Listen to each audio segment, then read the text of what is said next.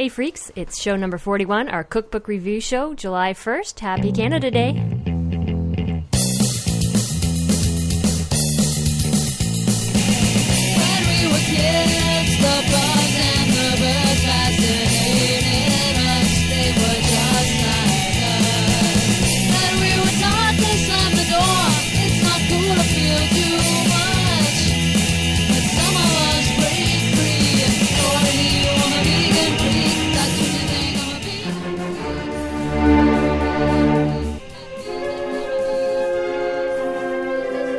They do up all the burger bars like Wild West saloons and make the staff wear silly hats and stupid pantaloons. And Pizzaland puts on parade its private serving goons, while Colonel Saunders calls up all his uniformed dragoons. And they're passing round the paper hats and handing out balloons while they sell themselves through slogans and through happy family tunes and through figures that they've lifted from favourite cartoons because their food is as disposable as the cups and forks and spoons. It's a fast food world. It's wrapped in batter, dropped in a vat of boiling fat, and slapped straight onto a plastic platter. And your future's dire as a fast food buyer. Your cholesterol's higher. You have a huge spare tire when your main supplier is a deep fat fryer. It's a fast food world where we wheel and deal for a snack that's cack or a tacky meal which we want to eat. That's right. It's a fast food world jail. out there. It is. Hello. awesome How's it going?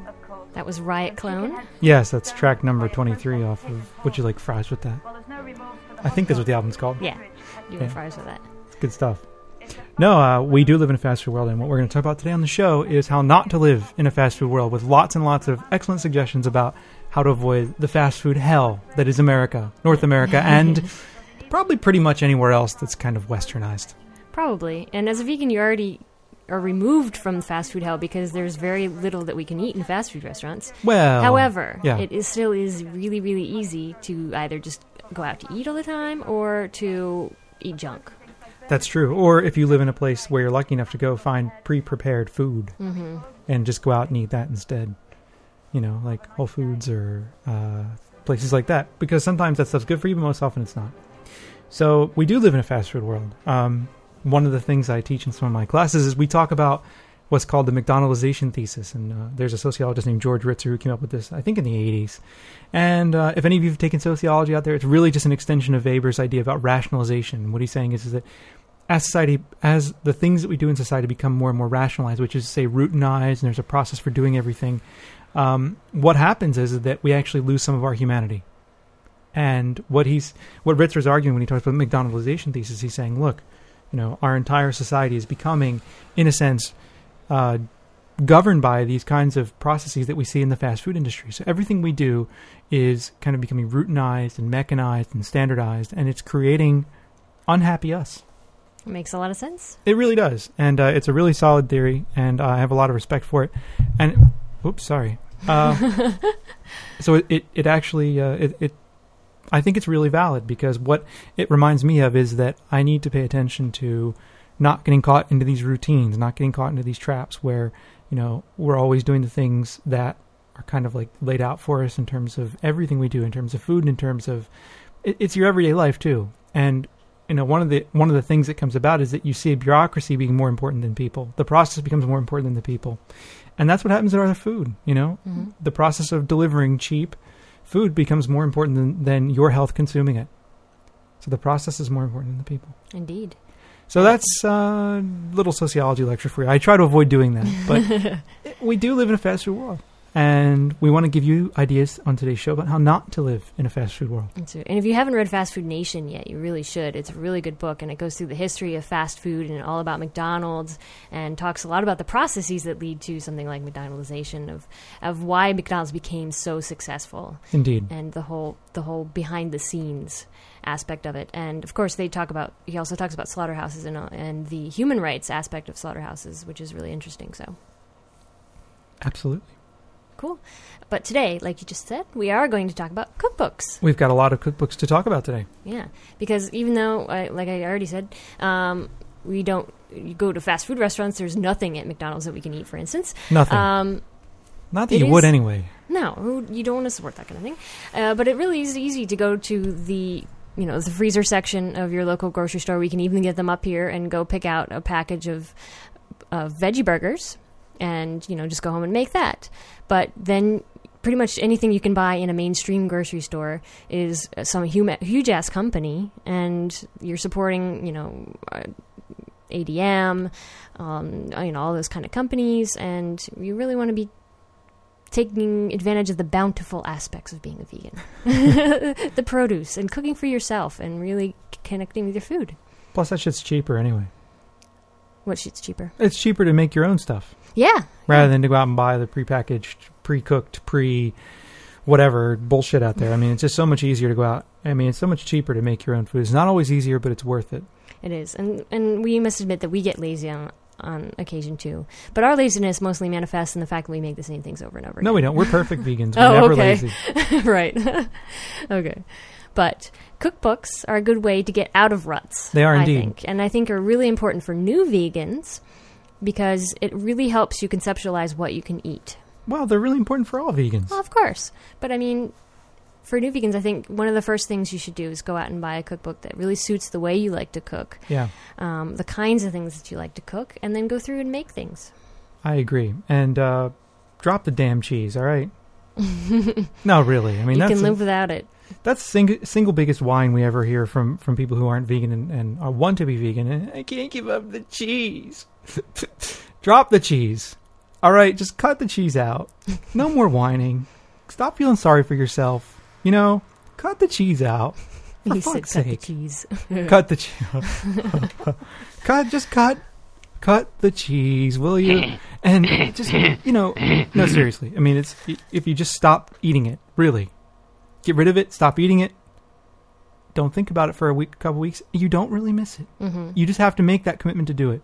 So, I was thinking the other day. I don't know why I was thinking about this. I was thinking about blue cheese yeah, and how really disgusting it is. yeah, it is. It's like you're letting milk go rancid and grow mold, And then you're and eating then it. you're eating it. Mmm, that's great.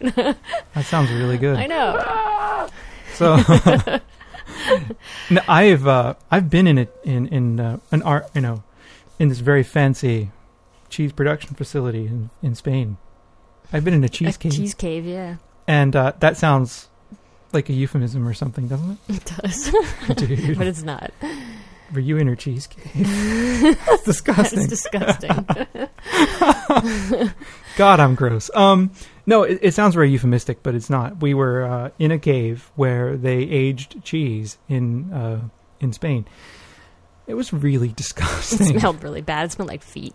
Oh no, it smelled way worse than feet. You know, so uh, it was way worse than feet, and uh, it was it was really gross. hmm So cheese is, is what you should give up. But enough. We're not going to lecture at you anymore. Right, we're gonna talk about cookbooks that have vegan things in them. That's right. So if you're not vegan, you you damn well should be. And if you aren't, we're going to come to your house, knock on your door, and yell at you because you're not. I mean, there's no reason not to be. That's right. There is no reason not to be. Especially with we're gonna all these cookbooks we're gonna tell you are only a um, fraction of all the ones that are out there, and they have amazing food in them, and it's so good. They are. The food is amazing. So you should check all these cookbooks out. Right, But let's go. All right, we're gonna start talking about uh, with talking about Dreena Burton's cookbooks. She was on the show not long ago, hmm and uh, she did, she gave us a pretty good interview with baby poop stories. Yeah. so we picked up both of her cookbooks, um, The Everyday Vegan and Vive le Vegan. I said it right this time. Yes. Not Well, Viva la Vegan, like Viva know. Las Vegas. French. Who the hell speaks French? The French. Yeah. Ha. uh, anyway, yes. I was I went through the cookbooks and actually I haven't made we haven't made a ton of recipes out of the year and I don't know why, but the ones that we have made have been excellent. They have indeed. And actually, I think the reason I think I, I, I think in my head that we've made a lot of recipes out of this book is because every Sunday we make the same recipe The apple oat pancakes and or the banana pancakes. I like the banana pancakes. They're her book a really lot. good. They're really simple pancakes Yeah. and really tasty. They are, and uh, we can even put them together on a Sunday morning. hmm So if we can put it together on a Sunday morning, you know it's got to be very easy It is. because mornings we're like, "What? Where's my coffee? I Coffee, know. coffee, coffee, coffee." and it's nice because it's made with ingredients that you most likely have lying around your kitchen. Right. So you don't have to make a dash to the grocery store on Sunday morning to make pancakes. Right. And uh, it makes you wonder why people ever put eggs in pancakes. You don't need them. Not at all. These get nice and fluffy too. Yeah, they're, they're, very, very, light, which is what I really like about them. And uh, we also have made out of there the uh, rosemary seasoned tofu balls. I said balls. All right, I'm going to stop doing that with the Beavis thing. Um, yeah, they were really good too. I like those a lot. They're, I mean, they're not. They're meant to replace meatballs, but they're not meatball-like. They taste different enough. They're very flavorful, and they're, They're very. flavorful, ball, flavorful balls. They are, and they're really good with pasta. Yeah, they are. Or they would have been good on a sandwich too. I think. Oh, a meatball sandwich. Mhm. Yeah, that would have been really good. And they're So- nice because you just ma- mash all the stuff together and put them in the oven. And They were decent, they were really good. and that's that's out of Vive le Vegan, right? hmm And uh, we you also made scalloped potatoes. That was a while ago. We They made were those. good. They were good. They were But- nice and creamy. They were. Uh, it was weird. I was having like childhood flashbacks because my mom used to make those when I was a kid. You know, yeah. like we used to have the kind that came in a box. yeah, we did too. But I liked that kind of stuff when I was a kid. you I, I know? like it now. They reminded. They, I had these flashbacks. like, Yeah. You know, so it was nice. And the Everyday Vegan, which is the older one. Vive le Vegan's nice because the recipes are a little simpler than the ones in ev- the Everyday Vegan. Cool. The Everyday Vegan's more like casseroles and things for when you have a lot more time to prepare, I think. Mhm. Um, so we made what the my favorite recipe out of there so far is the tomato olive rice bake. Hmm. That was really good, but I love olives. So if I see olive in the title of something, Yeah, I'm gonna make it. you do. You you are big into the olives. So You're also sounding kind of weak. We need to get you closer to your microphone. all right, I, I'm just looking at the meters, and you're, um, you know, my input's below yours, and in terms of what's going on, and your voice is coming in lower. all right, Mr. Soundman. All right. Well, you know, whatever we don't get right here, I have to fix in post production. All right, So all right. I will talk louder then. you don't have to talk louder. You just get a little closer to the mic, maybe. Okay, I I can't turn your input up any further. okay. Um, but anyway, I'm sorry. I apologize for that technical interjection. Okay. uh, we have made out of here, yeah, the uh, olive rice bake. I like that too. hmm It's garlicky and good, It is really garlicky. but it's good. hmm Uh, that sounds really fucking phenomenal. What else have we had? Um, the Mediterranean tortilla pizzas. Uh huh. It's basically you take a tortilla and you make you put it in the oven for a little while, make it crispy, and then throw pizza ingredients on it. Right. And that one, they, ours turned out a little weird. I think is because of the the artichoke hearts that we used. Oh yeah, I remember that. It was a now. little. It turned out a little sour. That was the artichoke heart. They were. it was the um, artichoke hearts. I don't think it was the recipe. Honestly, That's right. It was the art, the artichoke hearts were the problem, not the uh, recipe. Because we had, we had some tart brand of artichoke Yeah, I didn't like them. They were bad. Kind of messed up. But what I like about Viva La Vegan, and I think Dreena talked about this in the show, is that she tried to focus on recipes that you could put together while you were doing stuff, like Mhm. you know, tending to the kids or I don't know, whatever else you do. Hmm You know, so that's cool. And uh, I like both of those books for a variety of recipes. And again, you can get some ideas out of those, and then use those ideas to build uh, other things. So, uh oh, dog's barking. yeah. So, And yeah, and they both have. I, I haven't uh, tried to make yet. They both have good dessert recipes, and this is annoying. hey, Emmy. Okay. She's very. She, she's she's like a protector of the house. You know, she sees anything outside, she's got to go. She's got to bark at it. yeah. Anything at all. And luckily, Molly's too tired to bark right now. Yeah, I know. We just took them out for like an hour, walking through the woods, up and down hills, and all that shit. But that doesn't matter. No, she's always up for more. Always. so uh, anyway, anything else you want to say about these cookbooks? Uh, I think I remember other people saying that the chocolate chip cookie recipes out of one of the two, I forget which one it was, is really good and Nice. worth making. So I'm not. You're not allowed to make chocolate chip No. cookies anymore I'm not. because we got into this this argument. We get into this argument every so often. You see, I should we should just tell you about it. Uh, Jenna's probably getting mad at me for it. Yeah, probably. really? No, Okay. Really? really. Because I don't want you to be mad at me. I, you don't need to, to to talk about this. Yeah, it's kind of fun though. All right, fine, talk about it. All right. So we get in these arguments because Jenna, you know, I went, I, I was told to eat brown rice by my doctor. My doctor said, you guys stop eating white rice, eat brown rice. So we eat brown rice. Every so often I want white rice and we get into a little argument because I want white rice. So we get into this little debate back and forth. And of course, you know, Jenna's like, fine, die, whatever. You know, you're going to have a heart attack. That's your fault. You stupid idiot. All this other shit. And so I'm like, okay, fine. We're going to eat all healthy, right? But around Christmas or around any birthday or holiday, you make sugar laden cookies and sweets and like we can always find an excuse to eat cookies and sweets but you know i want white rice with my mexican food in, in you know in the spanish rice i make and suddenly it's like a real problem you gonna hit me Well, when I was gone for a couple days at a conference, you made white rice, i did so you should be happy. i did and you know what i felt bad I made white rice and i felt bad i was like damn I shouldn't be doing. I felt like I was cheating on you or something. Like, you, know, like, you were gone and I'm making white rice, and I was like, "Fuck, I shouldn't be doing this." You know, it's like I feel so dirty. It was just white rice too, you know. So you see what you've done. It's not really an argument. We just, you know, you have I those things where you poke at each But other. I haven't made any baked goods unless I'm until tomorrow. Actually, well, tomorrow's alright. It's my birthday. see, see, it's okay when it's your birthday. well, on your birthday, come on. things. You're the one who proposed. I, I asked for something simple on my birthday. I asked for yellow cake, and you're the one who's going all out, all out of, out of sorts to make something even better. So, Well, it's your birthday, of course. well, I'm that's great. make I'm not going to complain, but I'm just saying I ask for simple things. I'm a simple guy. I'm very simple. a lot of people would agree with that.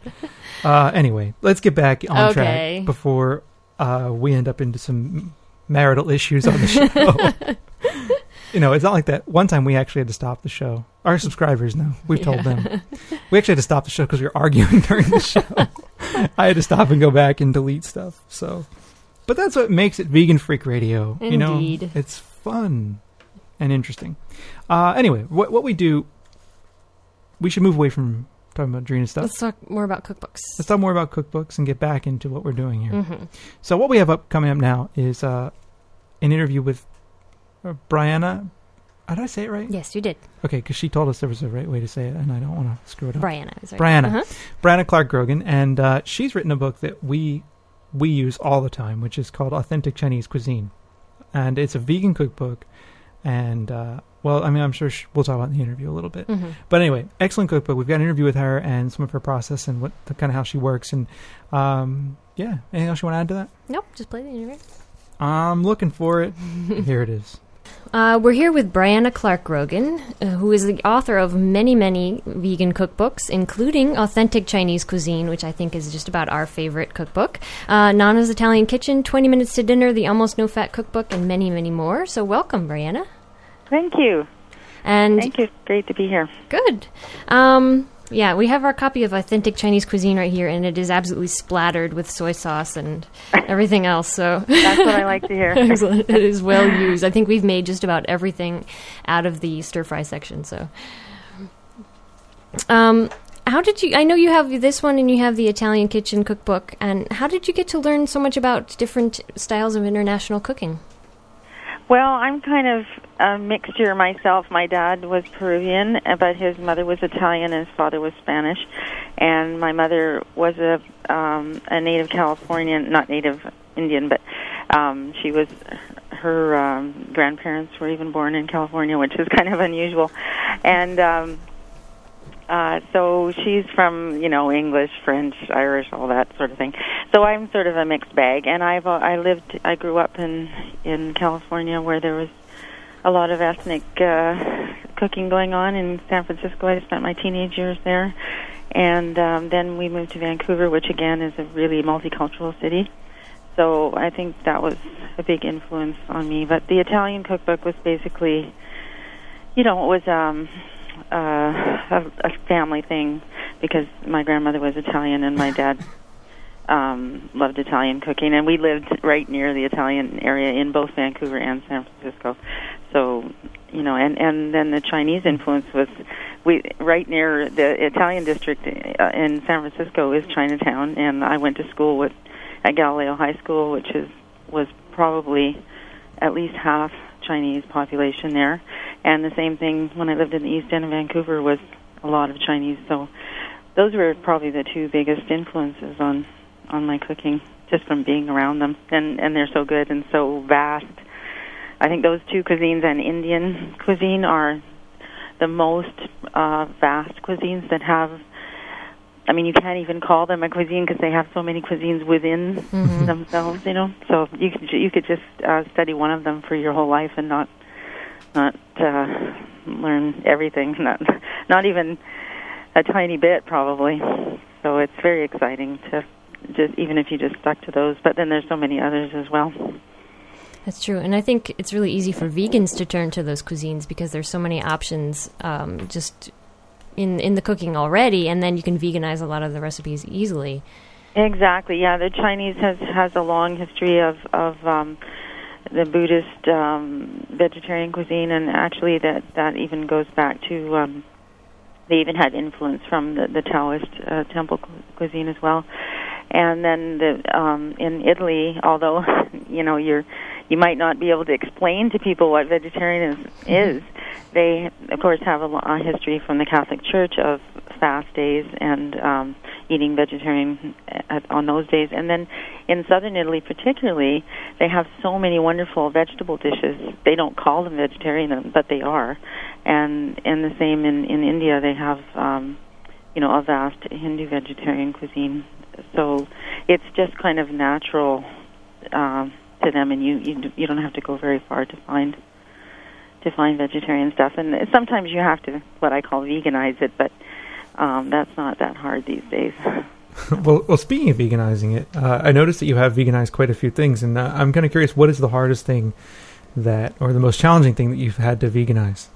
Cheese, cheese, definitely. Yeah, cheese is almost Uh, impossible. we just had a discussion uh, on my forum about that because everybody has a different a different taste, you know. And there's a um, one of my subscribers is Danish, and and um, you know he he was not quite happy with my cheese that I that I've devised, and uh, other people think it's great. And I just say, well, you know, this is what it tastes good to me.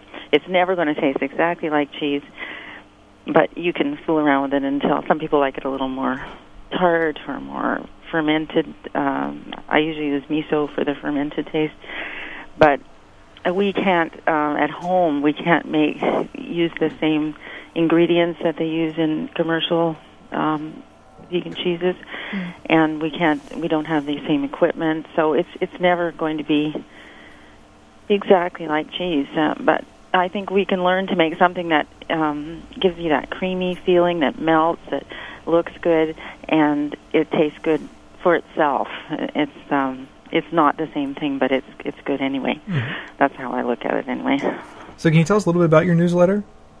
Um, well, it's called the Vegan Feast, and you can go to my website, which is bryannaclarkgrogan.com, and um, subscribe to it. And people, what people do is download a PDF file. It's a quarterly newsletter, and it's quite long.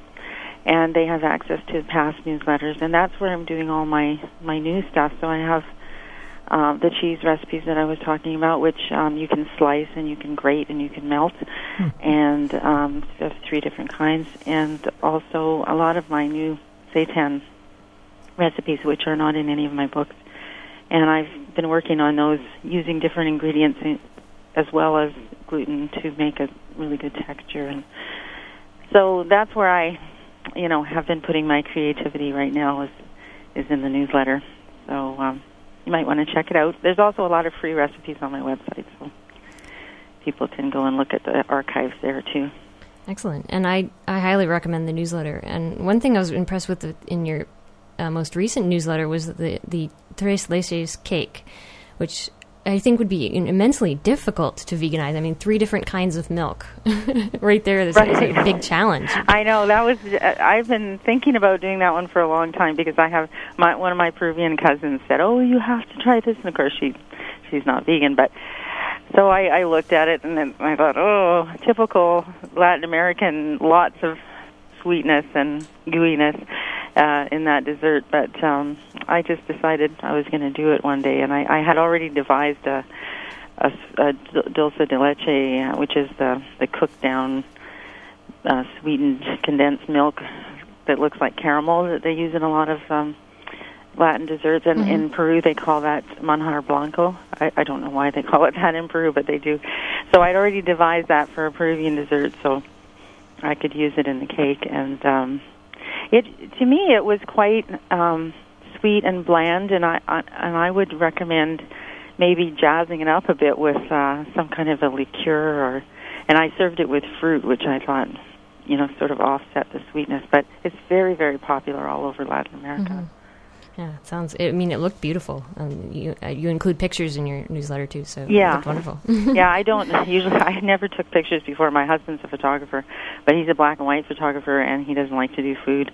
So I had to get a digital camera and learn. um, And you also have a lot of cookbooks that are related to um, holidays and you know sort of feasts. Uh, what are some recommendations that you have for dealing with these kind of holidays and feasts with with omnivores? Um, we have, for example, it's barbecue season coming up, and I know a lot of people are going to be out there having to barbecue with their families.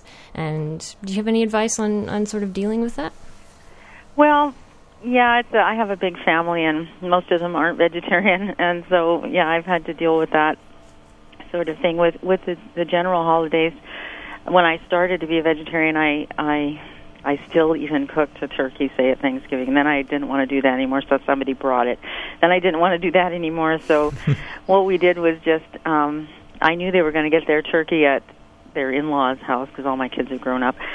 So I just said, well, go to your in-laws on the day, and then the next day, like in, in Canada, the day after Christmas is called Boxing Day, so it's also a holiday.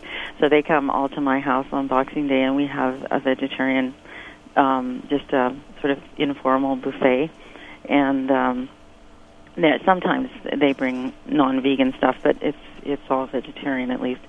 And um, so then nobody you know feels really pressured. And i have a vegan feast on christmas day for my vegan friends and everybody's happy. So that's the way i deal with the family thing.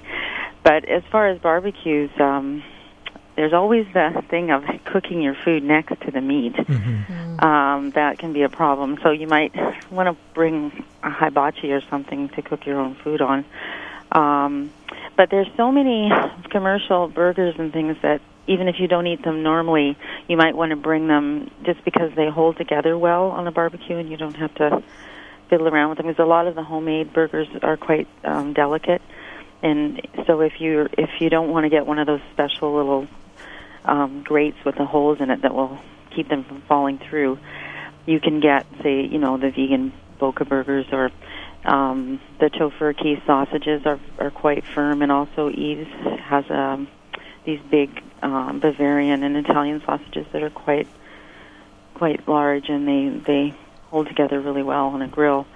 Um, otherwise, you can do kebabs. Um, Veget- vegetable kebabs, perhaps with some marinated tofu, and everybody seems to like those. So if you're sharing, you know that's that's something good to share with omnivores because um, they don't seem to think that's too strange. Good point. So, how did you get into veganism to begin with? Well, I um I've always uh, cooked. I've I've been cooking since I was a little girl and I I wrote columns and then I was interested in healthy cooking except it was, you know, not vegetarian. And we actually had a small farm, my my late husband and I and our kids for a long time and but we didn't eat uh any meat that we didn't raise ourselves for a long time. And then my husband died about almost 20 years ago.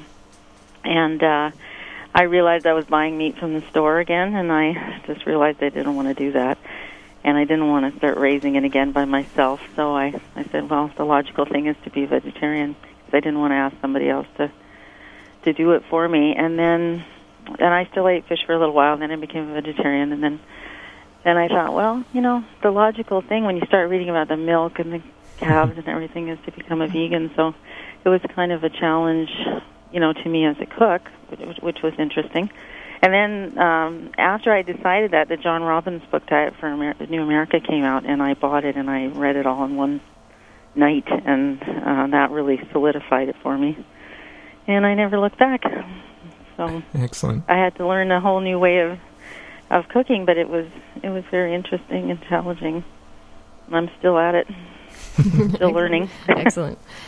Um, and we have a lot of listeners on our show that are perhaps new vegans are on the verge of going vegan. Maybe they haven't quite made the decision yet.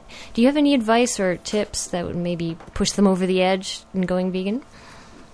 Well, I would recommend reading John Robbins' books and also um, uh, Howard Lyman's books. Uh, Howard Lyman, the Mad Cowboy, he Yeah. has a, a new book called No Bull, and um, it, it is really easy to read, and it just really explains what goes on in the the the world of of producing meat. And um, I think that would, you know, I think if you have if you have the facts and you you feel really strongly about something, and it's not just just for your health. Not not that it's not a good thing to do it for your health, but I think people that have more reasons than health are more apt to to stick to it. And um, you know, some people can just do it overnight, and that's fine. But other people have to do it gradually, and that's okay too. So I, I don't think people should think that they have to do it one particular way. They can do it however it works for them.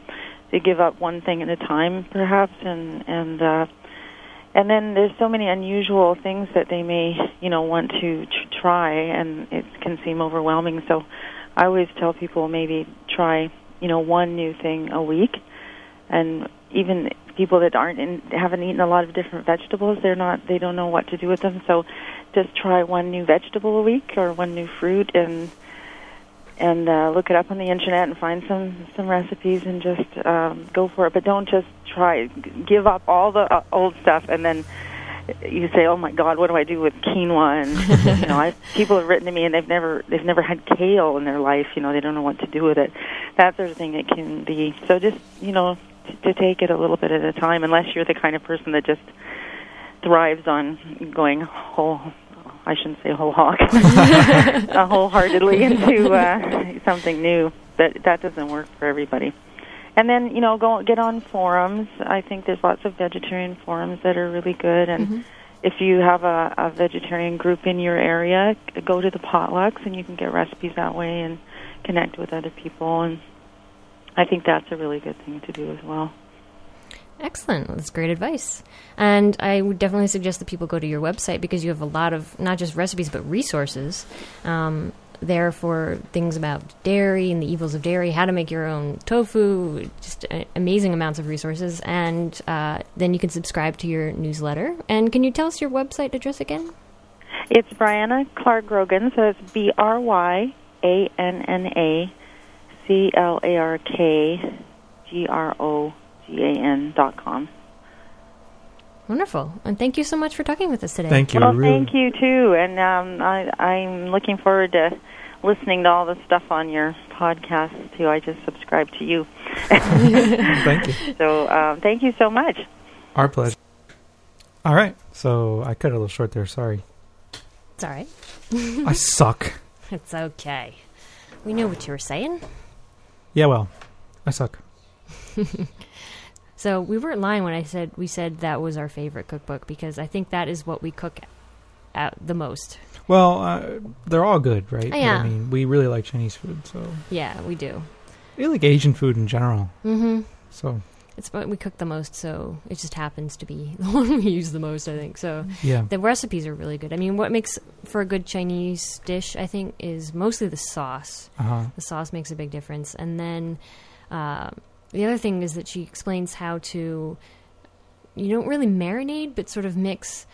She, you can use tofu or seitan in a lot of the recipes, mixing them with cornstarch and um, soy sauce or a mixture of other things before starting, which makes a really big difference.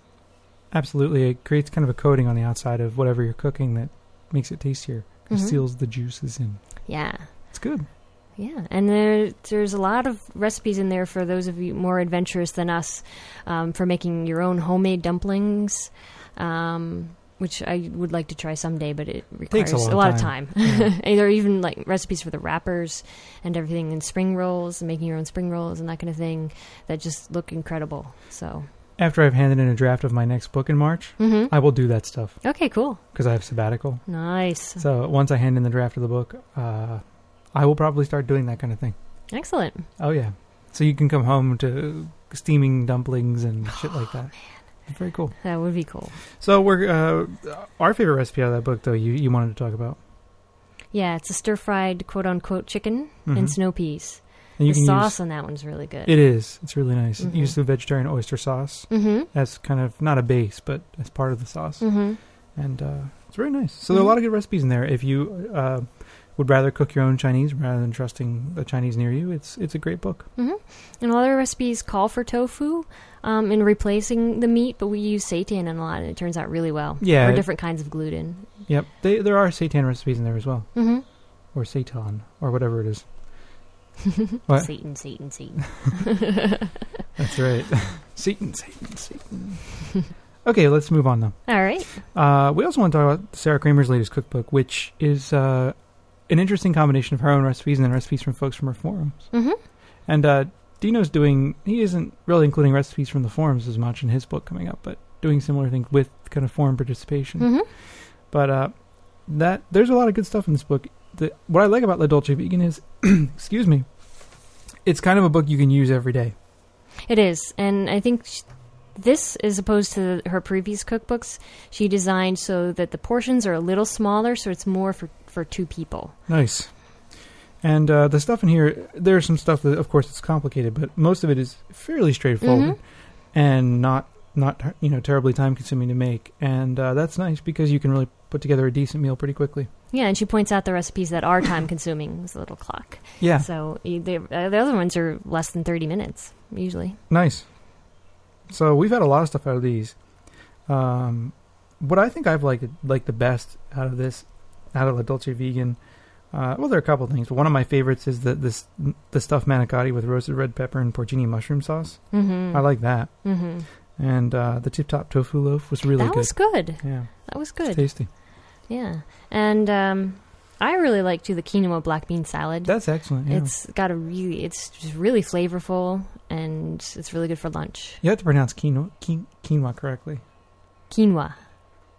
Come on, you speak Quechua. How am I saying it incorrectly? It's like that ka in your throat. Quinoa. No, it's quinoa. Quinoa. Yeah. Fine. See? We actually took Quechua in graduate did. school. So, which is the language in the Andes. I'm going to stop talking about Quechua now. Okay. But anyway, yeah, the quinoa black bean salad's really nice. We've also made out of there, what have we had? The vegetable casserole, which is good. The mustard Brussels sprouts, which are yummy. The shook and cooked tofu. If you miss shake and bake, Yeah. that's where you got to go. Yeah. The, when you actually make the the shake and bake kind of the shook and cook, she calls it, uh, coating from scratch, it tastes, or at least what I remember it, because I haven't had shake and bake since I was a kid. The- We used to have chicken all the time. do our uh, international listeners know what shake and bake I don't know. Well, it's basically breadcrumbs with seasoning, and you take the breadcrumbs with seasoning, you put it in a bag, and supposedly you put chicken in with it and shake the whole bag, and then you've got the chicken coated in the stuff, and you fry it or put it in the oven.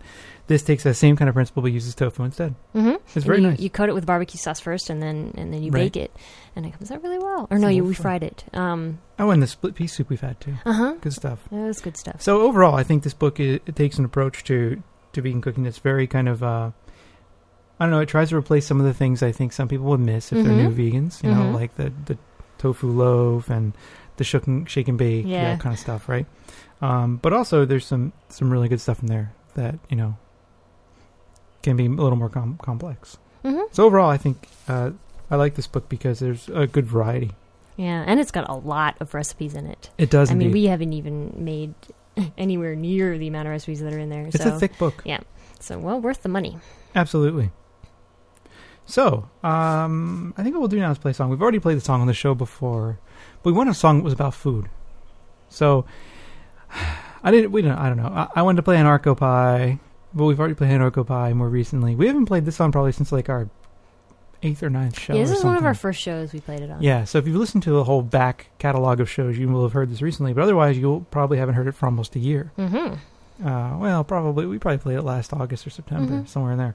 So anyway, this is Dead Prez, and it's Be Healthy.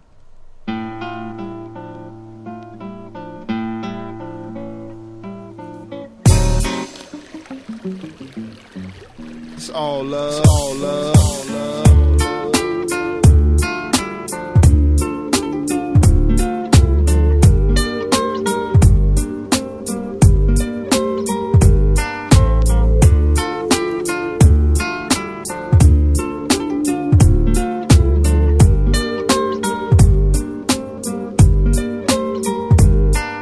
I don't eat no meat, no dairy, no sweets. Only ripe vegetables, fresh fruit and whole wheat. I'm from the old school. My household smell like soul food, bruh. Curry falafel, barbecue tofu, no fish though, no candy bars, no cigarettes. Only ganja, fresh squeezed juice from oranges. Exercising daily to stay healthy, and I rarely drink water out the tap 'cause it's filthy. Lentil soup is mental fruit and ginger root is good for the youths. Fresh vegetable with them ital stew. Sweet yam fries with the green callaloo. Careful how you season and prepare your foods, cause you don't wanna lose vitamins and minerals, and that's the jewel. Life brings life, it's valuable. So I eat what come from the ground, it's natural. Let your food be your medicine, uh-huh. no accelerant. Uh-uh. Strictly herb generates from the sun, cause I got melanin and drink water. Eight glasses a day. day, cause that's what they say. They say you are what you eat, so I strive to eat healthy. My goal in life is not to be rich or wealthy, cause true wealth comes from good health and wise ways. We got to start taking better care of ourselves. They say you are what you eat, so I strive to eat healthy. My goal in life is not to be rich or wealthy, cause true wealth comes from good health and wise ways. We got to start taking better care of ourselves. Be healthy, y'all. Yeah, yeah, yeah, hold the fuck up, yo. Take this little intermission. Listen what the fuck we got to say, you know. World is born, son. Niggas been living fast for too long, know what I'm saying? Smoking bogeys, fucking drinking all types of shit, wailing out, not giving a fuck what they put in their bodies, son. Know what I'm saying? About time niggas start thinking about that shit, son. Know what I'm saying? That shit is fucking making us deteriorate, son. Word up, we gotta care about our little babies and shit, son. Niggas got kids to raise. Straight up, you gotta start learning yourself, learning about your health, son. Learning this world we live in, kid. Know what I'm saying? It's time to start changing all that shit, God. Word up. So I'm gonna leave y'all niggas on some shit like that, you know what I mean? Word up, you niggas better start using your minds and shit, kid. Peace. Okay. I play that song uh, usually during this past semester when I was teaching my class on animal rights issues. I would come in every week or so and play a couple songs for them. Most of they were punk songs, so they would all sit there and go, ah. Look at you like you're crazy. Yeah, they usually did. I, I, I played Bikini Kill for them. Oh god, I played that'll Liar. freak him out. you Yeah, know, um, I played Liar for them. the one where they're screaming. yeah, the one where they're screaming. You know, where they they start singing, you know, give peace a chance. yes, I played some Bikini Kill for them. Um, they weren't really much into that, uh, as probably is not surprising. But uh, I played that, and I played some other stuff for them, which you know was kind of fun. So Did They- they, like the Dead Prez? they liked it, but they kind of laugh at it. They laugh at everything I did. Mm, this is true. Although the last class I had was pretty good, but they didn't laugh. Uh, they didn't laugh too much at Dead Prez. I, I, the thing at the end, I think they always find kind of funny. you know, because well, you know, he's laying it down, right? Yeah, So- and they always like the line about ganja and orange juice. so yeah, they're into the ganja and orange juice. But um, I think that's the song out of all of them that I played they like the best. Yeah. Uh, and then I played the "Fuck Ted Nugent" for them, you know, which is a brilliant song. It is. And they, a couple of them were like, "Who's Ted Nugent?" I was like, "You don't know who Ted Nugent is? Oh my the god! Nuge, How could you not know who the Nuge is, dude?" Especially because he pimps himself on all kinds of reality shows. He's on some different one now, and I don't know. Yeah, he I, is. We flip through the channels and it's occasionally on. I have no idea what it's called. He's got another one out, doesn't he? Uh, where they're trying to form a band or something. Yeah, that one. That's what I want to talk about. Oh god, I don't know. He sucks. Yep. So yeah, I I used to play a bunch of stuff. They they didn't like um MDC. They thought MDC was funny because I played I played Tofuti for them. Oh, they that's a good song. They didn't like Tofuti. no. No. Did you play Chicken Squawk? I played Chicken Squawk for them, and I played Aw. Corporate Death Burger. Man, those are good So- songs. I played a little bit of everything for them, and uh, they weren't really much into any of. Well, that's because they like Dave Matthews. Yeah, they really do like. that's Dave about it. Matthews. That's sadly true. So I don't know. I played some Tofuti for them, but they weren't really into Tofuti. I don't know. Oh well, So sad. it is. I don't know. So So now we Um, have. You're looking for it. uh, I, I I have it. Did you lose again? No, I have it, but it's a stupid fucking iTunes bullshit. There it is. Oh, okay. They didn't like the song. How could they not? It's so cool. Listen. That's right.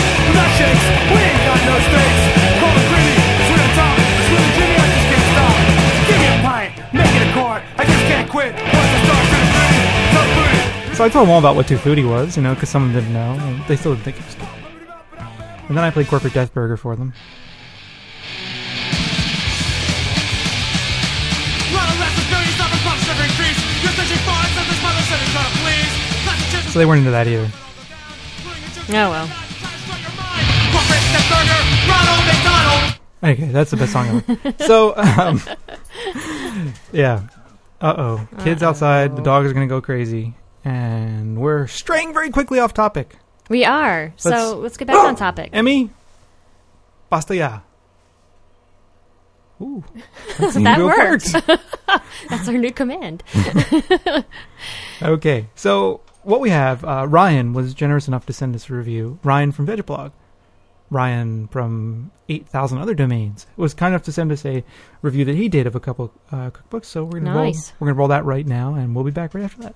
Hey, vegan freaks, this is Ryan from VegBlog with a review of Hot Damn and Hell Yeah Recipes for Hungry Banditos by Ryan Splint and the Dirty South Cookbook Eat More Grease by Vanessa. This dual release came courtesy of Microcosm Publishing, who, uh, if you're a fan of zines, you may have visited their site and ordered many a zine from them. This collection, though, is kind of halfway between a zine and a book. Uh, I came kind of late, late to appreciating zines, but uh, in recent years have accumulated a number of great zine zine cookbooks or cook zines or whatever you actually call them. I don't know, uh, including We Need to Eat, Soy Not Oi, which is the classic vegan zine, uh, the Frugal Vegan's Harvest and Holiday Survival Guide, and Don't Have a Cow. All of which I definitely recommend, recommend checking out. Uh, they're kind of nice because uh, while some of them steal recipes, sample recipes from other cookbooks and make adaptations, they also feature some simple, uh, you know, do-it-yourself type recipes that are, uh, you know, they, they they offer a different type of flavor than your standard uh, glossy cookbook. So the hot damn and hell yeah recipes for hungry banditos is done in the style of the old west. There's a bunch of great illustrations that all feature uh, skeletons, and the recipes contained therein are kind of of the what you'd imagine they'd eat in the old west if they didn't eat meat. Uh, you got a whole bunch of burgers ranging from lentil burgers, black bean burgers to breakfast burritos, nachos, enchilada, even country fried tofu, which uh, I have not yet tried, but has got to be quite interesting. Uh, the recipes here are all quite easy to make, use standard ingredients, and uh, offer some good down home type eating.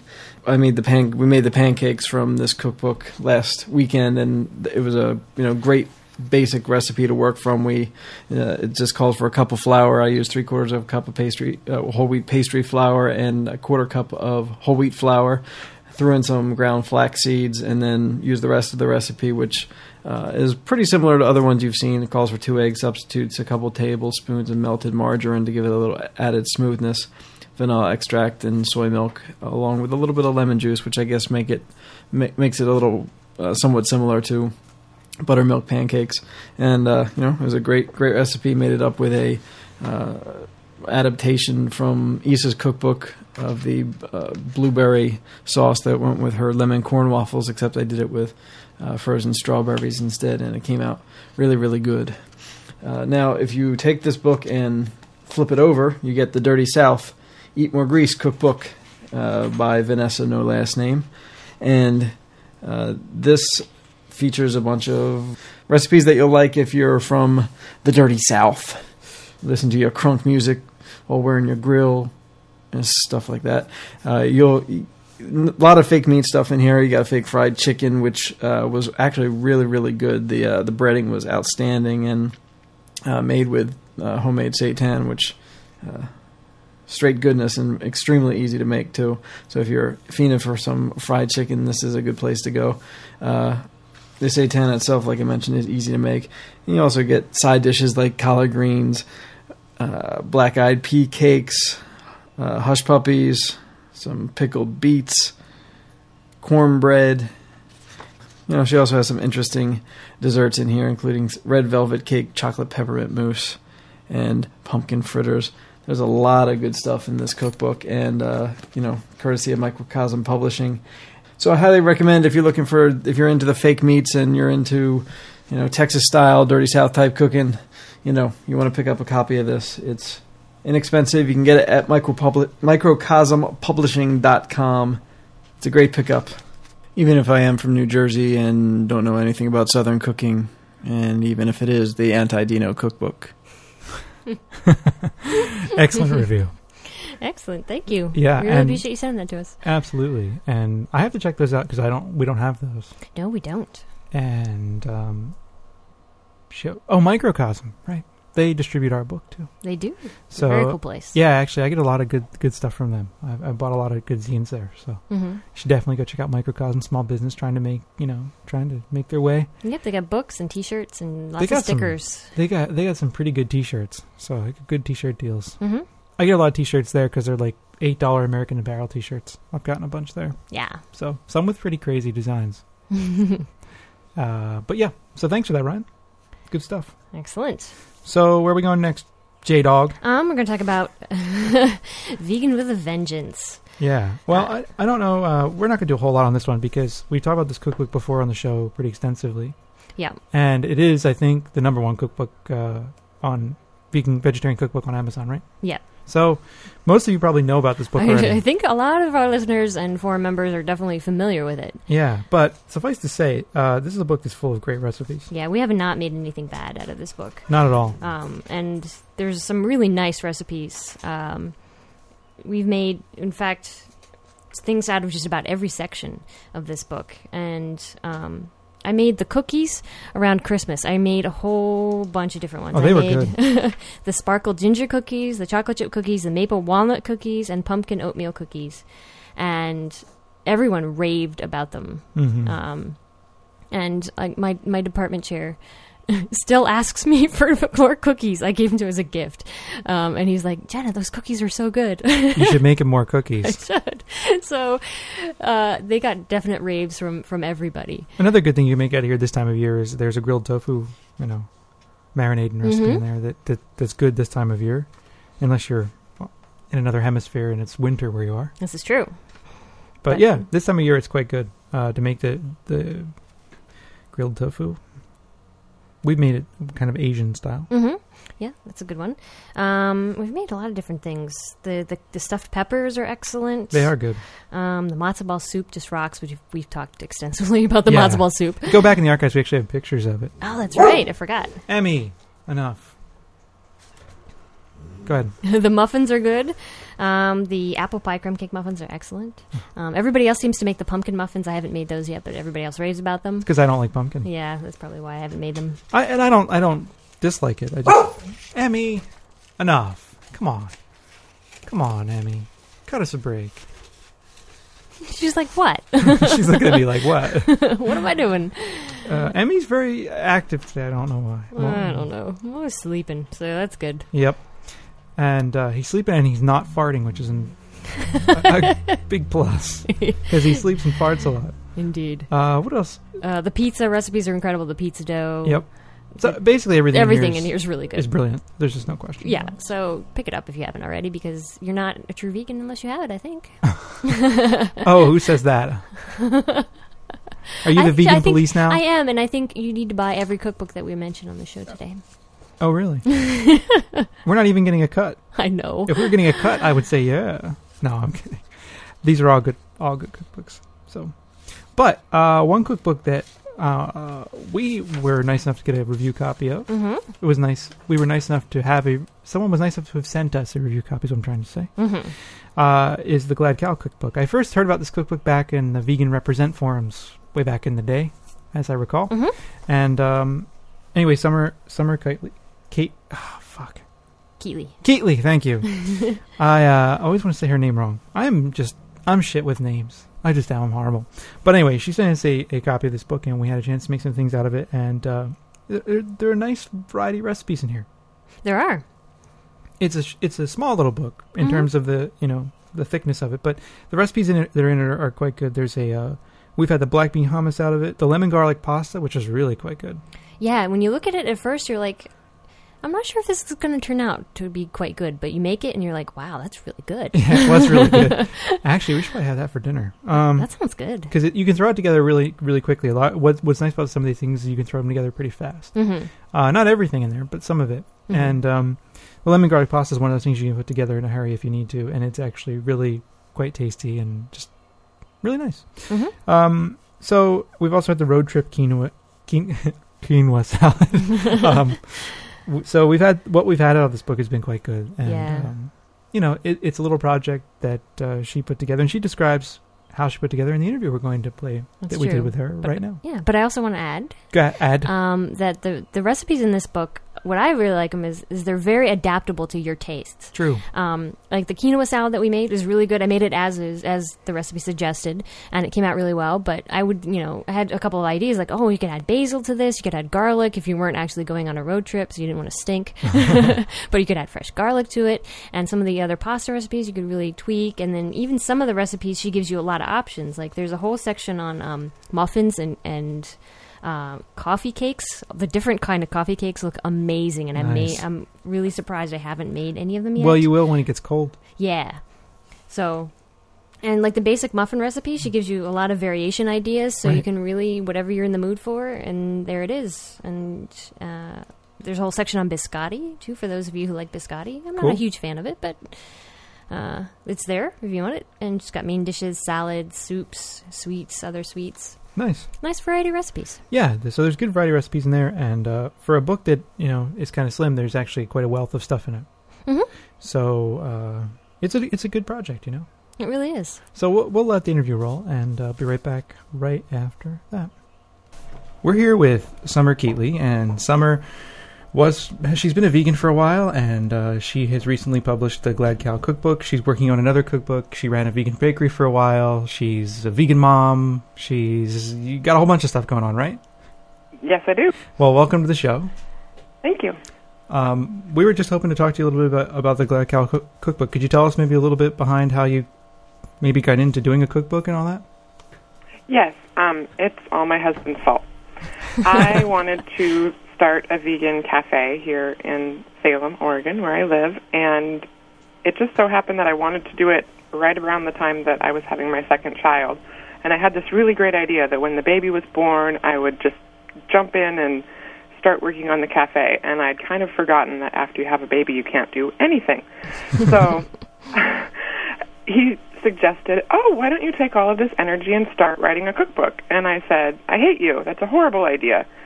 And at the end of the day, I was writing the book because he knows and I know that when I really want to do something, I usually am a little bit reticent at the beginning and I say bad things like I hate you to my husband. but he um it was his idea and I started working on it then and worked on it off and on for about 2 years while I was running the bakery. And then when my kids got to the point where I couldn't do the bakery anymore, then I finished up the book and some lovely people at Food Fight helped me with the layout and uh, helped me find a printer, and I self-published it. Cool. Excellent. And for those people out there who aren't familiar with your cookbook, could you describe the kinds of recipes that are in there, or sort of your your your style of cooking? Sure. Um, everything in the book is something that I have made for my family and my kids, and things that they will eat. In addition to being something that I would make on a regular basis, so they're pretty easy. They're ingredients for the most part that you could find in a regular grocery store. There are only a few ingredients throughout the book that you would have to go to a health food store for. Um, and they're just quick, easy, straightforward, good food. Excellent. I agree. we made some of the things out of there you. that have been very good. Um, and you, you say throughout the book that your your husband is raw foodist. He has been raw off and on. uh, currently, he's in the middle somewhere. He he likes to do the majority of his food raw, but we have found that it's really hard to balance having a raw foodist in the house and still be able to share meal times because Yeah. we end up cooking two different meals every time. So he usually does raw for breakfast and lunch, and then when we have dinner together as a family, he eats whatever I make for him. Well, that's kind of a, a cool compromise position there. Uh, you know, and that way he gets to eat the great food that you're making. Yeah, that was the other part. he really, you know, I would make something fabulous, and then he, I wouldn't really have the energy to do a fabulous raw thing as well, and he'd feel kind of gypped. So, Yeah, I was just going to ask: um, Is that besides the, the whole meal times and the separate meals, is it challenging as a, as a cook to come up with good raw meals? um, no, because well, at the beginning it was because I raw cooking is a whole nother way of thinking. You have to really see things in a different way from from beginning to end, the way that you conceive of an idea and the way that you put it together. And so it it was kind of hard to do at the beginning, but I went to some raw cooking classes and um, we went to some seminars, and I just I kind of understand it better now. So putting together a raw dish is fairly easy if you have the right ingredients. You have to have a lot of produce and nuts and flavoring devices on hand in order to be able to throw something together, but it's it's it's really fun actually.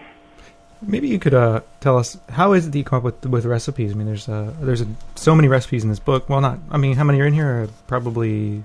Well, let's see. It's about sixty some pages, and there's two or two on every page, or three on every page. So that's a lot of recipes. How do, how do you come up with the ideas? How do you do it? What's your process? I, I- guess. Well, I don't like to do the same thing twice. so I will be getting ready to make dinner, and with the exception of sometimes, I mean, my kids have their favorites, and so I'll make them like the cheesiest macaroni over and over and over again because they love it. But in general, if I'm feeling creative, I don't want to make the same old thing that I make all the time. So it's kind of born out of a hate for monotony. I can't do the same thing over and over and over again. It gets really boring. So I think about what I have in the fridge and I think about what I would like for the kids to be eating that particular day based on what they've had earlier or the day before and I try to come up with something that is creatively inspiring for me but also something that the kids will eat and that will be a good um variety of foods for them nutritionally. So how long does it take you to perfect a recipe? I mean, uh, we had I think it was a lemon garlic pasta that was really good. I mean, how, but how long does it take to really work out uh, all the kinks or things like that that come up when you're when you're coming up with fresh ideas like that? Um, most recipes are done on the first try. The lemon garlic pasta recipe, I didn't tweak it at all, and I made it at like eight o'clock at night when everybody else was gone, and I was making dinner for myself, and I just made something that I wanted. Um, that's actually my best friend's favorite thing, it's, and it's the only thing she doesn't cook, so it's the only thing she's made from my book. she makes it over and over again, at least twice a week. But um,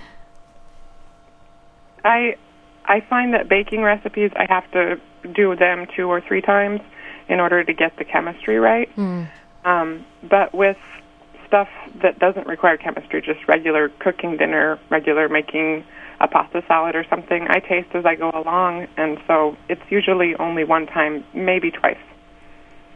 Excellent. And you say in your book that you enjoy veganizing classic American recipes. What have been some of the more challenging things that you've had to veganize? I am still working on meatloaf. Mm. I really, really like a good not not a pinto bean loaf and not a barley loaf. I want something that has a nice thick texture and doesn't have chunks of things in it. It's just good on sandwiches. You know, a little bit of the ketchup glaze on top, and I've had a, a hard time. I'm I'm getting really close, but I tried to get one together for the first book, and I it wasn't happening. So that's that one's been really hard. Yeah, that's the one we people always ask us. Do you have any good meatloaf recipes? So, uh, I'm so close. Next book. all right. So tell us about the next book. Well, the next book is going. There's actually two more on the way. Um, the next one is going to be similar to the current one, except it's going to be kind of like twice as good. There's going to be hopefully twice as many recipes.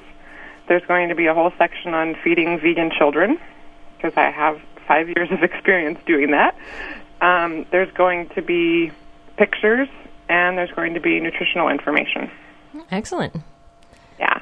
So, and then the third book is going to be vegan special occasion recipes. So there'll be like standard special occasion menus like Easter and Thanksgiving and Cinco de Mayo, and then there's going to be like wacky fun ones like retro school lunch and whole menus of um, things that you can have for special occasions or just for making a wacky dinner. That sounds like a lot of fun. Yeah, I really I ki- I'm a food geek. and so when it's like Flag Day, I have to Google and see what do people eat on Flag Day, which nothing. But but like St. Patrick's Day, I had to make colcannon and green beer, and it it's a sickness. So do you do you use other cookbooks? I do. I'm a cookbook junkie. I just actually finally got Vegan with a Vengeance. I ah. borrowed it from the library for the longest time.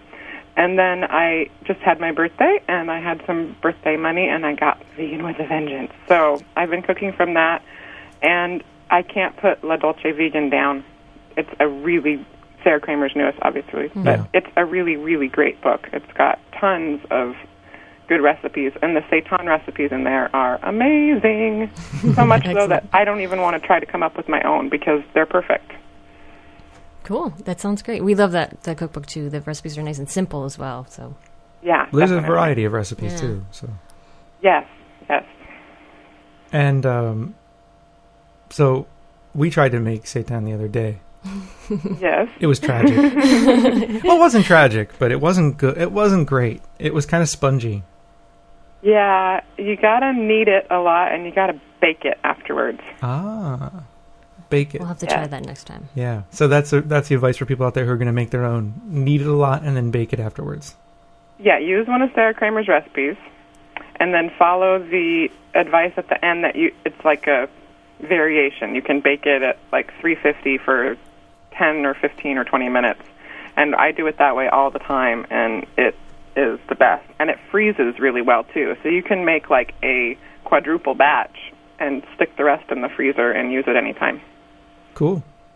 And uh, Yeah. just by way of final questions, um, how is it that you ended up getting into veganism? Um, it is a combination of my husband and my son. My husband was raised vegetarian. He um, his family's Adventist, so Oh. he was vegetarian from birth to his teens when he rebelled and had hamburger and stuff. um, and we met in high school, so we were both omnivores at the time that we met, and then uh, we got married at a young age, and we had my son, and he was allergic to milk.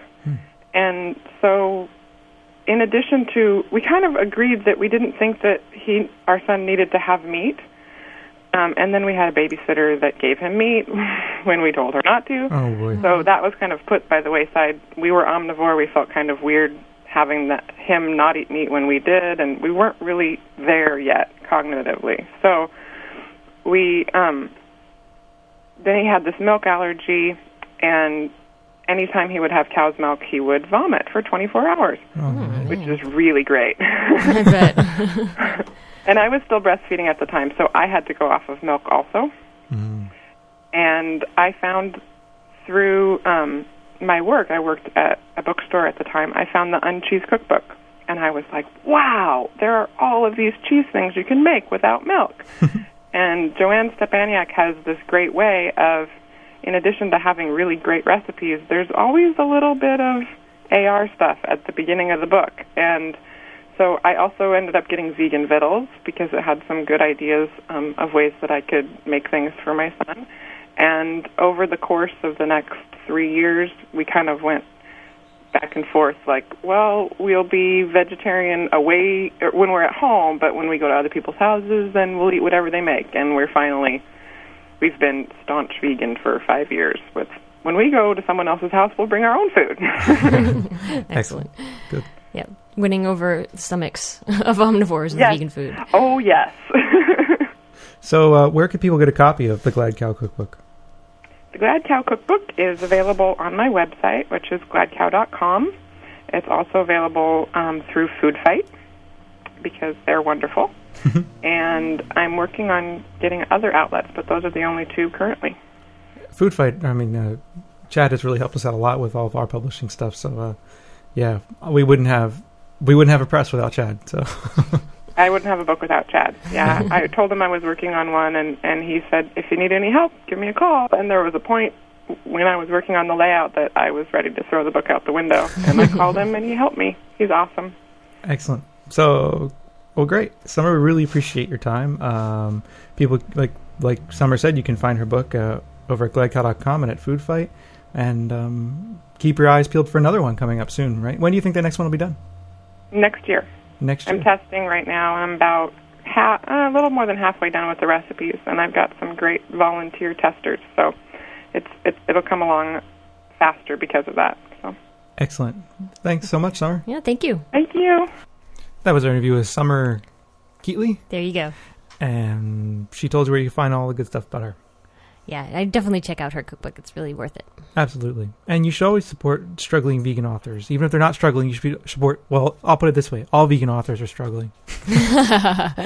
not all, but many. Yeah. So you should always support vegan authors. I'm not, I don't mean to imply that she's struggling because I don't know, but, you know.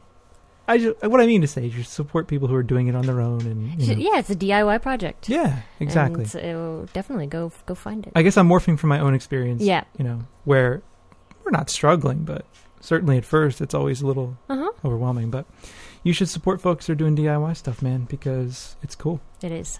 It's good stuff. It is. So yeah, I didn't mean to imply that she was struggling. That's not my. I apologize. I fuck it up. I'm, I'm just a knucklehead. What do I know? I shouldn't even do this radio thing. What the hell am I thinking? You're fine.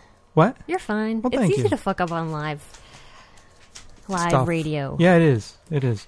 But I go back and edit it out. This is true. So no, no one might even end up hearing this, depending on how lazy I am. so no, but anyway, uh, we're gonna move right on through here. Gonna keep it moving. All right. So I think that's all the cookbooks that we are going to review for today. That's but right. But- we do have a segment about an upcoming cookbook. That's right, with Dino. Uh, you've heard Dino on the show before, probably. If you're on our forums, you know Dino. If you've been in the chat room, you know Dino. He's probably tried to kick you out at some point or another. Um, no, I'm just kidding. He's not like that. I am like that. No, I'm not either. Uh, no, anyway, Dino is cool, and uh, Dino's getting ha- has a cookbook pretty much done at this point. hmm It's still being tested. Right. There's still some testing going on, Mhm. but the book is is for all intents and purposes finished and will be published by Tofu Hound Press in the fall. Mhm. So we thought it would be cool to have Dino on the show and to kind of pimp our own little our own project and a, and a struggling author And give you a little preview. and give you a little preview of what's coming. And um, you know, Dino, I don't think could have done this without the help of our of all the people on our forums. He's got he, we talked about in the interview, but he's got uh, you know, all the all the testers he can need, and they they are very good about going out and testing the all of his recipes and things like that. Um, stop petting the dog; he's just gonna start biting you and He stuff. did. Distracting. Both of them.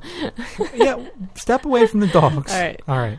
So they need to be they need to be ignored for a little while. They do. Okay. Emmy keeps pumping me with her nose. so- Pat me, pat me. But anyway, let's let this uh, interview with Dino go, and we'll be back right after that.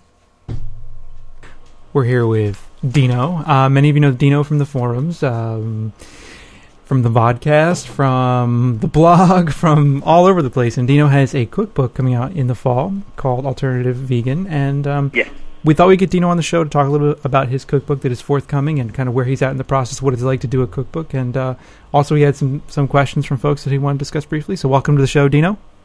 Hey guys, it's good to be here. Good to have you here as always. Always. Yeah, and if I can somehow manage to untangle my stomach from itself, this will be easier. Well, uh, do you care to inform our Yes. audience why your stomach is so tangled or not? Um, because I'm going to be meeting uh, Steve up in New York um, before our big meetup um, up in Watkins Glen, where we get to pet the piggies and cuddle the cows and stuff. Um, and we're going to be staying in New York for about four days. So if there's any New York uh, area vegans listening, go ahead and shoot me a email, diva at veganfreak.com, and we'll hang out, we'll have drinks, we'll chat, whatever. Nice. You should have a good Yeah. time in New York City, I'm sure. Absolutely. Fuck New York City, I get Steve all to myself for four days. Sweet. well, you two should have fun. oh, we will. So you have a question first. Let's get to that first before we talk about the cookbook. You have a question Oh, for sure. from Creature Comrade. We need to thank. She sent us a lot of cool things. She sent us a really cool package, so thanks for that, creature comrade. She's And- just cool all around, isn't she? Absolutely. And uh, And she's a talented baker on top of that. so let's hear about the baking stuff. Uh, okay, so here's the thing: is like a few months back, um, I went onto VegWeb just for the first time. I was a VegWeb virgin, um, and I was figuring, okay, th- I'm getting fucking sick of going to the store and finding bread with like stupid shit in it, like whey or fucking egg wash or sodium fucking lactate, and I'm like, or high fuck. fructose corn syrup. or, or HFCS, yes, and I'm like, if you're not trying to give me something not vegan, you're trying to kill me. Yep. That's right. not so much. And let me uh, let me ask you, Bob and Jenna, have you um, bought store bought bread and been able to crumple up that slice of bread into a tiny little ball? Oh yeah. Oh yeah. Yeah, I'm sorry, that's not bread. That's a marshmallow. Okay, thanks. I agree. It tastes disgusting. It smells like nothing, and it's like there's no flavor in there at all. I You know can't smell the wheat. You know what I hate though? What? I'm completely burnt out on the sourdough bread shit. I am so burnt out on sourdough bread. Everywhere you go now, you go to these artsy fartsy places where they're bakers and all they make is sourdough. I'm burning out on sourdough. Good sourdough is okay, but the sourdough we get around here, it's so sour. It's like tastes like silage or something. It just I'm burning out on, on sourdough bread. So and store bought breads, meh. I bet you they use artificial starter, the little freaks. That's probably, why the sourdough is too sour. I like good sourdough bread, but the sourdough mm-hmm. bread we get around here is really shitty. Oh, for sure. And I'm I'm sorry, but there's no way to go except to make your own sourdough starter and or get it from someone else. Um, and usually, most places will mail it to you for free if you just pay for shipping. Wow. So anyway, uh, Creature Comrade wanted to know how my bread baking adventures have been going, and so like I was saying, um, I was a veg web virgin, and I found this recipe for what they call outrageously easy big bread. Now, I'm not kidding here when I say big bread. It makes two giant loaves Cool. um, this recipe, and it's linked on the forums. Um, and I guess you guys can put the link to my thread in the in the show summary. I guess. Okay, yeah, we'll do that. Okay, um, and we talk about our experiences baking that particular recipe of bread and other breads. And the thing is, I started experimenting, um, as a couple of the bakers on there were saying. Um, for example, I bought a spray bottle, filled it up with water, and every few minutes, um, while the bread is baking, I would spray it with some more water, and I end up with this like crusty, crusty crust. Nice. Nice. That's so hard to get. Yeah. It's it's really hard. It's not hard to get at all, just because um, like people think you have to do something gross, like put you know chicken menstruation on there. when you just need water. Yeah. Uh, Yeah. We've, we've made French bread like that in the past, and it's come out really well. Where we've just kind of sprayed some, uh, it in the oven. That that actually works really well. Oh sure, and it doesn't come out shiny um, like the stuff that you see in the stores. But quite frankly, the stuff that you see in the stores is filled with shit that you would never want anywhere near your mouth, much less in your bread. Exactly.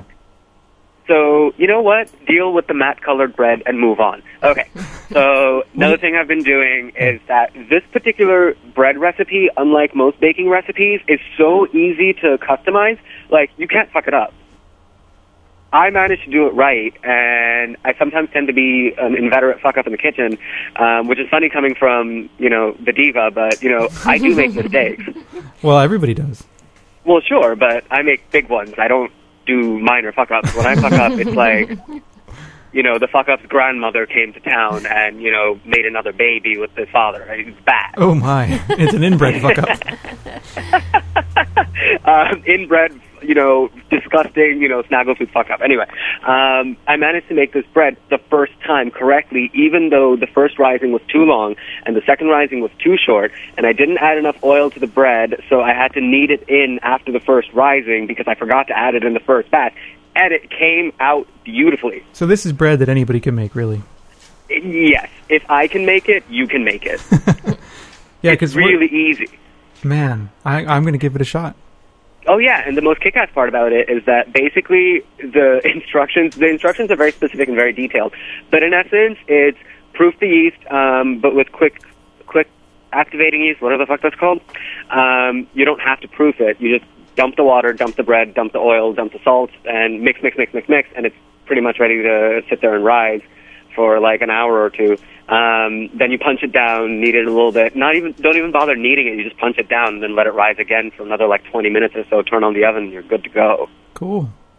So now what I've found is that um, initially what I did, like I was saying about the fuck ups, initially what I did is that um, I tried uh, suspending some nuts inside the matrix of the dough.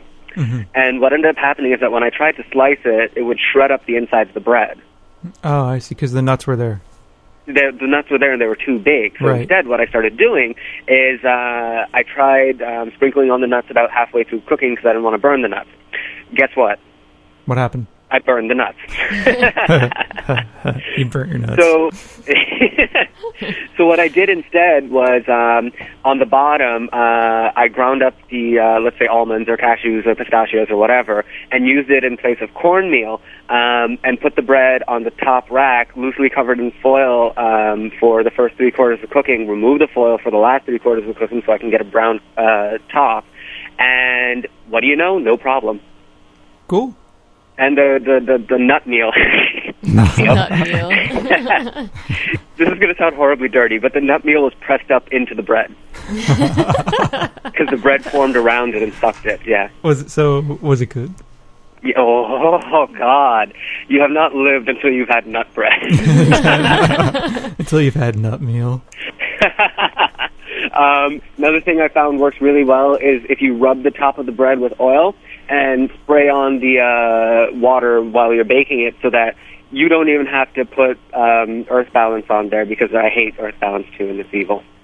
Wait, wait, wait, wait, wait, wait. You you're going to get into a fight with me. Why do you hate Earth balance? because it's evil, and I decided that it's an omni sub too. Get the fuck out of here. An omni substitute for what? And even if it is, who cares? Butter. Oh, please. So you don't And use please, margarine? Watch the vegans like shoving earth balance into everything, and I'm like, dude, you could have used oil. You'll be peachy keen anyway. You can't use oil Um, on toast in the morning. You're eating toast with with butter. Spray You, bottle, bitch. you put oil on toast? Fuck that. You're Yes. insane. It's so much better. You put a little bit of oil in your skillet, and you fry up the toast right there on the frying pan. Mm, no, I don't want fried toast. I want toast with with earth balance, man. Sicko. Anyway, um, You're a sicko. Oil no, on your Your mom. No, not your mom. I love Mrs. Torres. There you Cool. go. Um, Because she's listening, you know.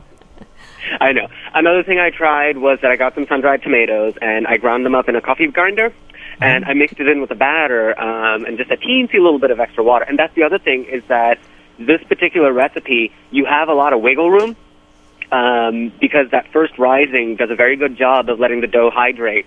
Um, so I was able to do half uh, whole wheat flour, half all-purpose flour, and it came out perfect.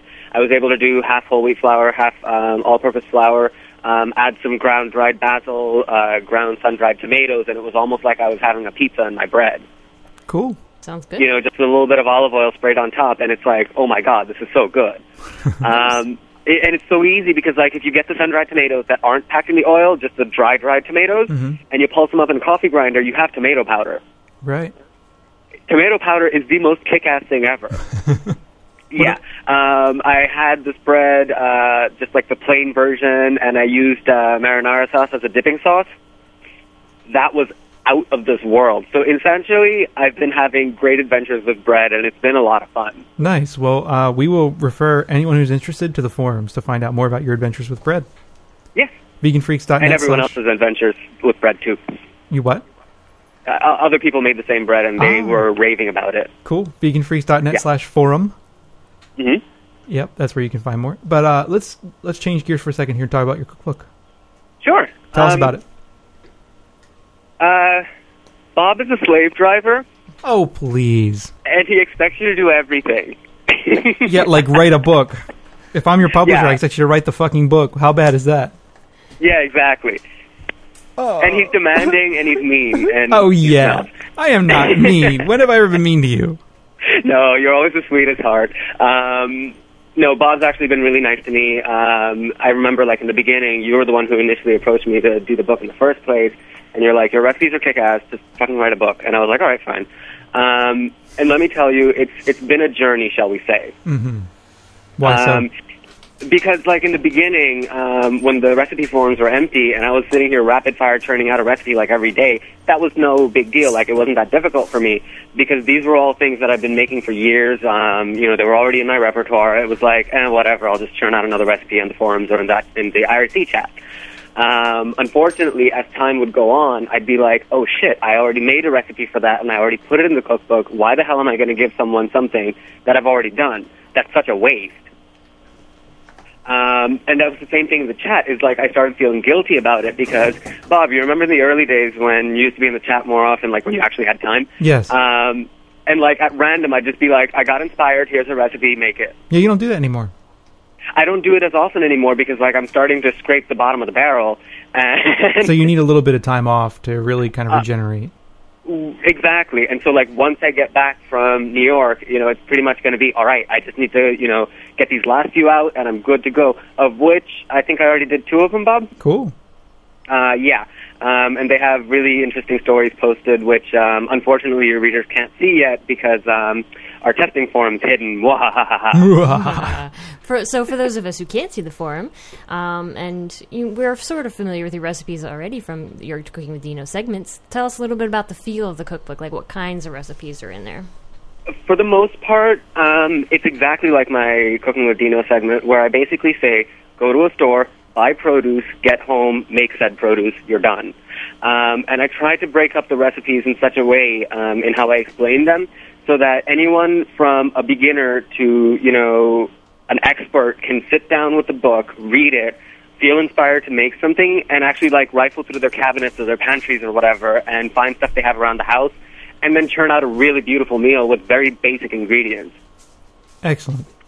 Now, mind you, I do have some complicated spices in there, and I do have some exotic ingredients, but about, I'd say 9 out of 10 are pretty much stuff you find around the house. hmm Nice. And what um, what what, Idiot reci- Me never included the popcorn recipe, but that's later. Anyway. what recipe do you think uh, you know? What, maybe give us a sense of a recipe that is kind of uh, representative of the kinds of things you have in the book. For example, like um, the dal that I have made of black-eyed peas, where you start off with a base of spices um, popped in oil, um, then you add a layer uh, of onions, you know, a layer of flavor of onions, and you saute that in the oil. Then you add tomatoes to that and saute that for a while, wait for it to break down. Then you add the cooked black-eyed peas, um, and then you just finish it off with a little bit of fresh herbs, and it's done Sounds lovely. Yeah. you know, where you start with a very basic flavor like the flavor of the cumin and the and the mustard seeds and the curry powder and the asafoetida and the curry leaves and stuff like that, and you slowly, slowly start stacking one on top of the other flavor on top of the other flavor, and you finally just round it out with that finishing ingredient, um, and you're good to go. Now, what I did is that I took traditional dishes, um, you know, that in certain cases anyway, I took traditional dishes that I've watched my mother make, that I've watched um, my friends' mothers make, and sort of made them my own. Cool. And then towards the end of each recipe, um, I give variations or how you can serve it or how you can sort of make it your own so that, um, you know, you don't have to say, oh, I got it out of this book. You can say, oh, just something I threw together. So it's basically a jazz, almost a jazz approach to cooking. You know, you, you Oh, very much so. provide kind of some foundations and then encourage people to experiment upon those foundations and move on. Well, yeah, and I think I may, um, I might have made the point in the intro. I'm not sure if I added it in yet, but basically, once you finish reading my cookbook, you probably sh- you shouldn't have to pick it up again, and you can pass it on to your friends so that you know we can spread the veganness. I I mean, of course, buy more copies. Don't get me wrong. but, There you go. Um, you know, you, I don't teach you what to cook. I teach you how to cook. nice. Excellent. Um, and it's not just for beginners because, like, I've seen people who've been cooking for years and years and years, and it's funny because, like, I'll share some of the recipes with my non-vegan friends. I'll share some of them with my vegan friends, and they're like, "We never considered that." Excellent. You know, um, and actually, it's funny because, um, you know, my mom's really proud of me about my cooking skills, so like she'll brag to all her friends. And she's not lying when she says, you know, she does learn certain things from me, um, and takes it on not not as her own per se, like she'll say, you know, is my son's recipe or whatever, but like she then tweaks it to her liking, and then I tweak it to my liking, and then there's this like synergy forming between. Well, I used a big, ugly corporate word forming between the two of us, and we end up with some excellent dishes that way. And that's also heavily uh, reflected in the book, where we take how everybody else does something, make it our own, and then kind of tweak it this way and that way until we get exactly what we want. Wonderful. Well, thank you, Dino. We really appreciate it. Uh, hey, I'd love to be on. Yeah, we'd love to have you on. So people can find out more. Uh, Dino's cookbook will be out in the fall at some point. We're kind of finishing Mhm. up some edits on it. Dino's finishing up review recipes, but we should have it out in the fall. It's probably late October, early November, in that range somewhere. And uh, yeah, you can find out more on the forums. And uh, if you want to get in touch with Dino, you can call, email him at diva at veganfreak.com. Uh, oh, before we go, I must give a major shout out to all my testers because Absolutely. they're the ones who pretty much got me through those rough times when I was just like, I cannot crank out one more recipe. and I'm sure you and Jenna know it, like from writing your book, where you you get these certain times when you just have writer's block and you just feel like you have nothing to say. Yeah. Mm-hmm. And you know, you feel really down because you're like, you know, I don't want to let all these people down. I don't want to let myself down. I know I can do this. And you know, by the way that the testers went out and tested the recipes, and they were so excited about it, like you could see that they wanted to be making my food, even when there were mishaps along the way. You know, they're still eager for more, and they've been completely outstanding. Excellent. And Delaney also has been very helpful. Oh, Delaney has been very helpful. Eric has been extremely helpful.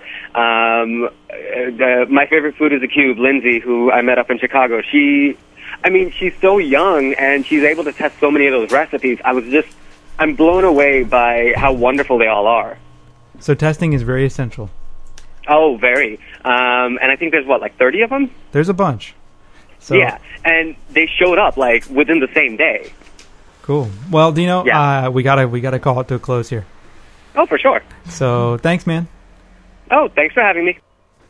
All right, that was Dino, and we're gonna try to have Dino on more regularly on the show every other week. Mhm. So please get in touch. Uh, we can call the voicemail for Dino too. Yeah, we can play it for him right on the air. Yeah, well, now we have this new setup with the phone system, which we're using rather extensively lately.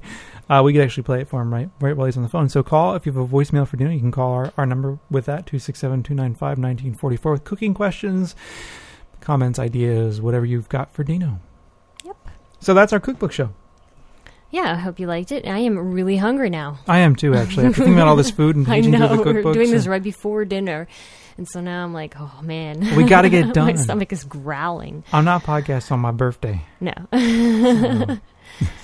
so, uh, thank you for listening once again. Yeah, and uh, a couple notes before we uh, close it out here.